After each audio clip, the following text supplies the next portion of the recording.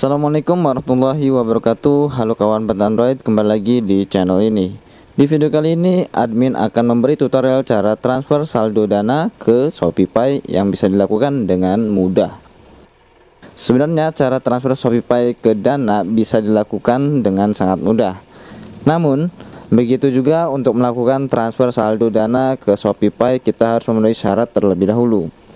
Syaratnya adalah Pengguna Dana harus punya akun Dana Premium. Jika belum memiliki akun Dana Premium, maka transfer Dana ke Shopify tidak dapat dilakukan. Jika kalian sudah memiliki akun Dana Premium, kalian bisa ikuti caranya untuk transfer saldo Dana ke akun Shopify. Simak terus ya teman-teman di video ini dan jangan lupa untuk kalian yang baru datang di channel ini jangan lupa klik like dan subscribe.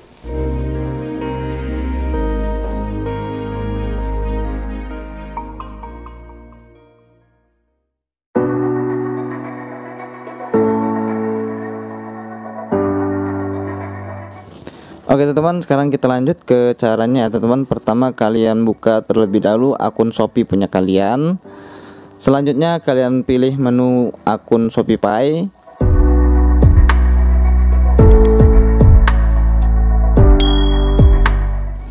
Dan selanjutnya juga kalian buka menu isi saldo Shopify. Selanjutnya kalian pilih metode transfer salah satu bank dan klik konfirmasi sebagai contoh saya memilih bank BCA dan selanjutnya akan ada nomor virtual akun. Nah di bagian sini kalian tinggal salin saja nomor rekening virtual akunnya.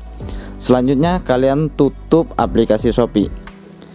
Tahap pertama ini sudah kalian lakukan ya teman-teman. Sekarang kita tinggal beralih ke aplikasi Dana Untuk mentop up Shopify melalui Dana ya teman-teman Selanjutnya kalian buka aplikasi Dana dan lalu kalian klik fitur kirim di menu utama di bagian sini. Dan kalian klik opsi kirim ke bank dan tempelkan nomor virtual akun yang sudah kalian salin tadi. Di kolom pencarian sini kalian tinggal tempelkan saja.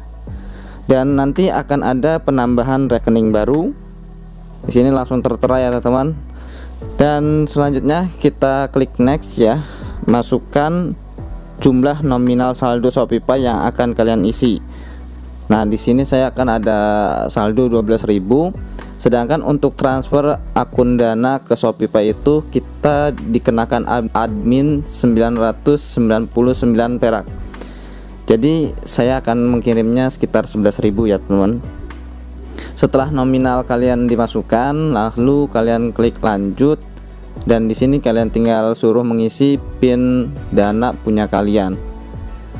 Dan prosesnya sudah selesai ya teman-teman. Kita langsung tunggu saja notifikasi dari akun Shopify punya kita untuk top up dananya.